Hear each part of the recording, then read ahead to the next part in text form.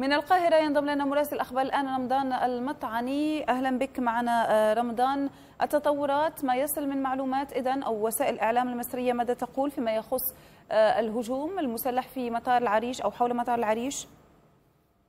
يعني منذ الأمس تتوالى البيانات الخاصة بهذا بهذه الحادثة منذ الأمس التي استهدفت مطار العريش بوجود وزيري الداخلية والدفاع وتبعاتها اليوم كلها بيانات صادرة عن المجلس العسكري والمتحدث باسم المجلس العسكري التي أفادت اليوم أن يعني قوات الصاعقه المصرية بالتعاون مع قبائل سيناء توغلت اليوم في العديد من المناطق المحيطة بمطار العريش وفق بيانات استخباراتية وما رصدته من تحركات لبعض يعني المخربين والإرهابيين الذين هاجموا المطار أمس بإحدى القذائف التي كانت تستهدف وزيري الدفاع والداخلية. اليوم تم يعني قتل خمسة من هذه العناصر الإرهابية بعد تبادل إطلاق النار وتم القبض على ثلاثة عناصر منهم وجاري التحقيق معهم. يعني هذه الحملة متواصلة. يعني ربما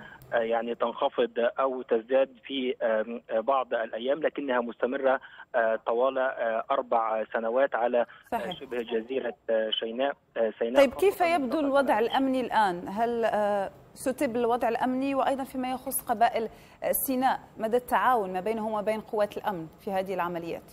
يعني قبائل سيناء يعني كثير منها يتعاون مع قوات الجيش والشرطة خاصة يعني بعد الحادثة الإرهابية الأليمة الذي استهدف مسجد الروضة على الفور يعني بعدها كثفت قبائل سيناء من خلال اتحاد قبائل سيناء يعني التعاون المباشر مع قوات الجيش والشرطة يعني بإعداد الكمائن و التوغل في الطرق الصحراوية التي يكمن فيها الإرهابيون. وهي مناطق يعني جبلية بطبيعة الحال وهي وعرة ولا يعني أكثر من يعرفونها هم قبائل اتحاد سيناء.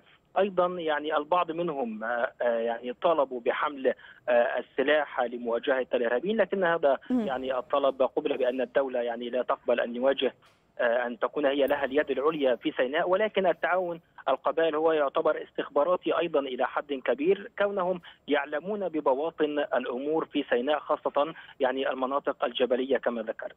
شكرا لك على هذه المداخلة. معنا مراسل أخبار الآن رمضان المطعني. كنت معنا عبر الهاتف من القاهرة. شكرا جزيلا.